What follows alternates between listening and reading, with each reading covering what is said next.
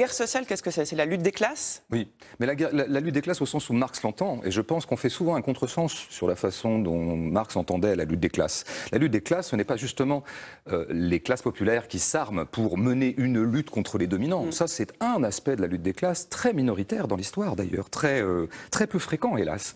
Non, non, la lutte des classes, c'est un état du monde, c'est un état structurel du monde qui fait qu'effectivement, le, le- le- le réel social est structuré par notamment une classe dominante qui lutte en permanence pour ses propres intérêts. En fait, la lutte des classes, c'est surtout les dominants qui l'amènent. Pour, euh, ils ont des intérêts à préserver, ceux qui possèdent des choses, les propriétaires, ceux qui possèdent l'outil de production, par exemple, pour prendre vraiment une langue très très marxiste. Euh, et, et donc, ces gens-là s'activent en permanence pour euh, conserver leurs intérêts. C'est ça pas la ce lutte que des disait classes. Marx. hein.